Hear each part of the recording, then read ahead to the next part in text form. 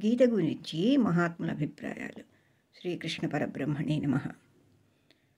మల నిర్మోచనం పుంసాం జలస్నానం దినే దినే సకృద్గీతాంభసి స్నానం సంసారమలనాశనం.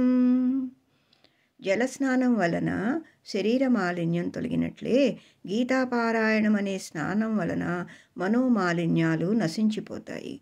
అని మహాభారతంలో చెప్పబడింది.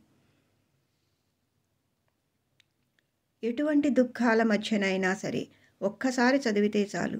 చిరునవ్వును చిగురింపచేసే దివ్య గ్రంథమే గీత. అనేక కష్టాల నుంచి సమస్యల నుంచి సందేహాల నుంచి ఈ భగవద్గీతే నన్ను ఉద్ధరించింది. మహాత్మా గాంధీ.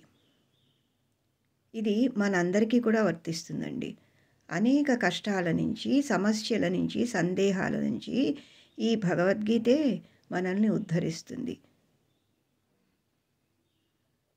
ఆపదం నరకం ఘోరం గీతాధ్యాయీన పశ్యతి నిత్యం ధారయతే యస్తు స మోక్షమధిగచ్చతి.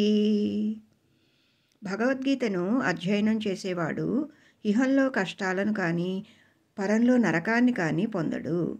ఎవడైతే నిత్యము పారాయణ చేస్తాడో వాడు మోక్షాన్ని పొందుతాడు. స్కాంద పురాణం.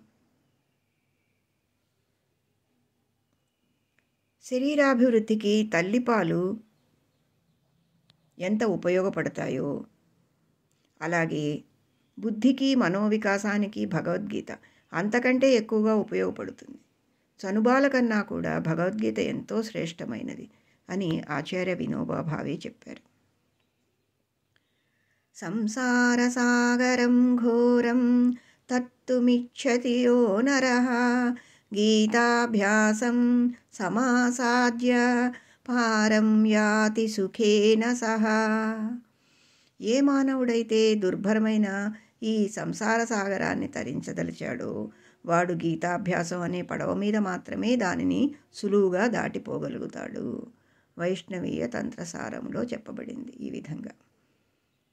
ఇంకా ఈ శ్లోకం అందరికీ తెలిసిందే. శంకర భగవత్పాదులు. భజగోవిందం. శ్లోకమంజర్లు ఈ విధంగా చెప్పారు. భగవద్గీత కించిదధీత గంగాజల లవకణికా పీత సకృదపియేన మురారి సమర్చ తస్య కరోతి యమోపి చర్చ ఒక్కసారైనా కృష్ణుని పూజించిన ఒక్క పురుషుడైనా గంగాజలం సేవించినా కాస్తంతైనా గీతా ధ్యానం చేసిన అలాంటి పుణ్యాత్ముల మీద యముడు దృష్టి పడదు. జగద్గురు శంకరాచార్య.